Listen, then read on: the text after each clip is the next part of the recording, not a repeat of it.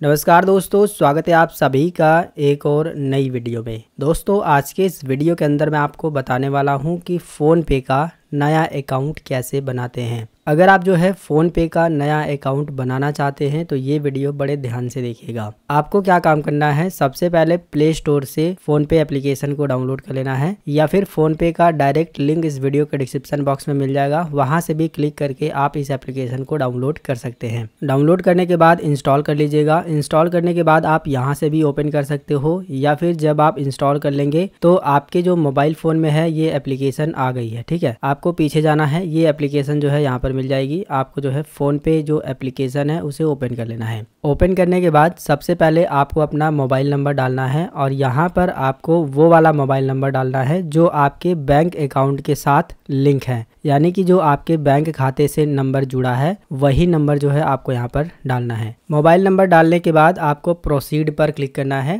इसके बाद जो भी आपने मोबाइल नंबर डाला है, उस पर ओटीपी जाएगा और ऑटोमेटिक वेरीफाई भी हो जाएगा, जो कि आप देख पा रहे हैं। इसके बाद जो है, आपको यहाँ पर ऊपर वाले ऑप्शन पर क्लिक कर देना है अलाउ यूजिंग द ऐप इसके बाद आपको अलाउ पर क्लिक कर देना है। इसके बाद जो आपका फ़ोन पे का अकाउंट है, वो सक्सेसफुली बन जाएगा, जो कि आप देख सकते हैं। वेलकम टू फ़ोन पे लिख करके आ गया है। अब यहाँ पर जो है, आपको बैंक अकाउंट लिंक करने का ऑप्शन मिलेगा। अगर आप अपने फ़ोन पे को चलाना चाहते हैं, उससे जो है ट्रांजेक्शन करना चाहते हैं, जैसे कि पैसा भेजना हो, पैसे प्राप्त करना हो, रिचार्ज वगैरह करना हो तो उसके लिए जो है आपको अपने फ़ोन पे में अपने बैंक अकाउंट को लिंक करना होगा। नीचे काफ़ी सारे बैंक दिए गए हैं, आप इसमें से भी सिलेक्ट कर सकते हो या फिर यहाँ पर क्लिक करके अपने बैंक का नाम भी सर्च करते हो। अगर आपके सामने ऐसी स्क्रीन नहीं आ रही है, आपके सामने जो है फ़ोन पे जो है कुछ इस तरह से खुल गया है तो आप अपना बैंक अकाउंट कैसे ऐड करोगे, बड़े ध्यान से समझिएगा। आपका जो फ़ोन पे का स्क्रीन है, वो आपके सामने इस तरह से दिखाई देगा। यहाँ पर जो है आपको ऑप्शन दिखाई देगा एड बैंक अकाउंट का। तो आपको क्या काम करना है, इसी पर क्लिक कर देना है एड बैंक अकाउंट पे। फिर जो है आप उस वाले पेज पर आ जाओगे। अब नीचे की साइड में आपको बहुत सारे बैंक दिए गए हैं। आप इसमें से जो भी आपका बैंक है, जो आप फ़ोन पे के साथ लिंक करना चाहते हैं, उस बैंक को जो है सिलेक्ट करना है। तो जो हमारा बैंक है वो यूनियन बैंक ऑफ़ इंडिया है, जो कि ऊपर ही मिल गया है। अगर आपका बैंक यहाँ पर नहीं मिल रहा है तो आप यहाँ पर क्लिक करके भी सर्च कर सकते हो। जैसे कि यूनियन बैंक है तो हम यहाँ पर जो है यूनियन बैंक जैसे ही लिखना शुरू करेंगे, वो बैंक जो है यहाँ पर आ जाएगा, ठीक है? तो हम इस बैंक को सिलेक्ट कर लेंगे। इसके बाद जो है आपको वैलिडेट मोबाइल नंबर का ऑप्शन मिलेगा। इसका मतलब यह है कि आपको अपने फ़ोन से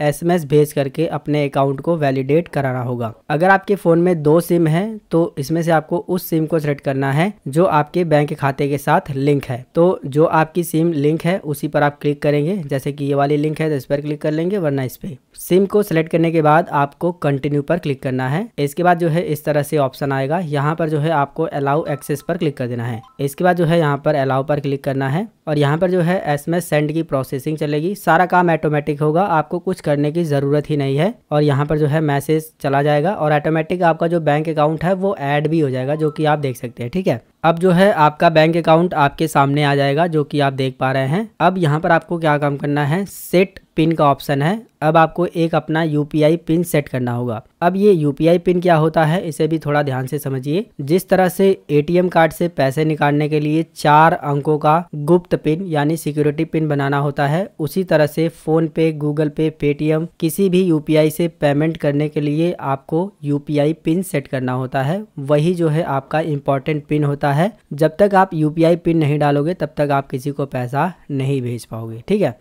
यूपीआई पिन सेट करने के लिए आप यहाँ पर भी क्लिक कर सकते हो या फिर नीचे की साइड में आपको सेट यूपीआई पिन का ऑप्शन मिलेगा, इस पर क्लिक करिएगा। आपके सामने जो है इस तरह से ऑप्शन आ जाएगा, जहाँ पर जो है आपको अपना एटीएम कार्ड का जो लास्ट का छह अंक है, वो डालना है। यहाँ पर एक्सपायरी डेट डालनी है, इसके बाद कंटिन्यू पर क्लिक करना है। अगर आपके पास एटीएम कार्ड नहीं है तो आप अपने आधार कार्ड से भी फ़ोन पे का अकाउंट बना करके सारे काम कर सकते हो। अगर आपके पास एटीएम कार्ड नहीं है तो नीचे अथेंटिकेट यूजिंग आधार, ये जो लिखा हुआ है, इस पर क्लिक करेंगे। इसके बाद जो है आधार कार्ड का ऑप्शन आ जाएगा, इस पर क्लिक करके कंटिन्यू पर क्लिक करके आगे बढ़ेंगे। ज़्यादा कुछ करना नहीं है। फ़िलहाल हम जिसका बना रहे हैं, उसके पास एटीएम कार्ड है, जिसकी वजह से जो है हम एटीएम कार्ड का जो नंबर है और एक्सपायरी डेट डाल करके सारा प्रोसेस करेंगे। प्रोसेस बिल्कुल आसान है, घबराने की कोई बात नहीं है। एटीएम कार्ड नंबर डालने के बाद एक्सपायरी डेट और मंथ डालने के बाद आपको कंटिन्यू पर क्लिक करना है। इसके बाद जो है बैंक की तरफ़ से सिक्स डिजिट का ओटीपी आएगा। इस तरह से ऑटोमेटिक वेरीफाई हो जाएगा। आपको यहाँ पर कुछ नहीं करना है। नीचे की साइड में ये जो टिक सही का है, इस पर टिक कर देना है। इसके बाद आपसे पूछा जाएगा, enter four digit ATM pin. तो जो आपके एटीएम का पिन है, चार अंकों का, वो पिन यहाँ पर डालना है। अपना एटीएम का पिन डालने के बाद आपको यहाँ पर सही के निशान पर क्लिक करना है। अब यहाँ पर जो है आपको फ़ोन पे का यूपीआई पिन सेट करना होता है। यूपीआई पिन क्या होता है? जिस तरह से एटीएम कार्ड से पैसे निकालने के लिए चार अंकों का पिन, गुप्त पिन सेट करना होता है तो वो पिन डालने के बाद पैसा निकलता है। उसी तरह से फ़ोन पे से अगर आप पेमेंट किसी को भेजोगे, यानी पैसा किसी को भेजोगे तो ये यूपीआई पिन माँगता है और जब आप यूपीआई पिन डालोगे, तभी जो है उसको पैसा ट्रांसफ़र होगा। तो यूपीआई पिन एक तरह से कह सकते हो, एक सिक्योरिटी पिन होता है, जिसे किसी को बताना नहीं होता है। जो भी आप यूपीआई पिन रखना चाहते हो, चार अंकों का आप यहाँ पर डाल सकते हो। एक और बात, अगर आप यूनियन बैंक का ऐड करोगे तो चार अंकों का यूपीआई पिन सेट करने के लिए बोलेगा। अगर आप स्टेट या फिर पंजाब का करोगे तो छह अंकों का भी यूपीआई पिन सेट करने के लिए ऑप्शन आ सकता है। तो कितने भी अंकों का रहे, आपको यहाँ पर अपना यूपीआई पिन सेट कर लेना है। जो भी आप यूपीआई पिन रखना चाहते हैं, वो यूपीआई पिन आपको डाल देना है। कोई भी चार अंक आपको जो याद रहे, वो आपको यहाँ पर डालने के बाद नीचे जो सही का निशान है, इस पर टिक लगा देना है। अब आपको कंफर्म करना है वही यूपीआई पिन जो अभी आपने डाला है, उसी यूपीआई पिन को आपको दोबारा यहाँ पर डालना है। कंफर्म यूपीआई पिन में आपको वही चार अंकों का नंबर दोबारा डाल देना है। नीचे जो सही का बटन है, इस पर दोबारा से क्लिक कर देना है।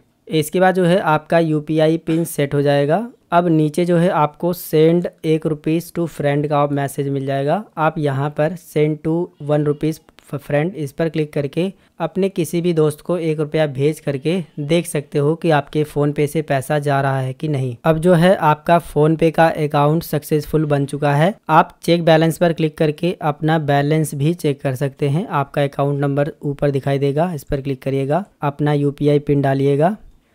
यूपीआई पिन डालने के बाद जैसे ही आप सही के ऑप्शन पर क्लिक करेंगे तो आपका जो बैलेंस है वो इस तरह से दिखाई देगा।